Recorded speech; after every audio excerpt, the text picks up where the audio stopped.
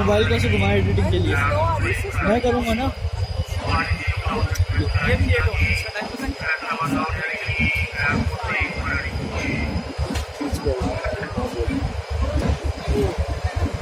number number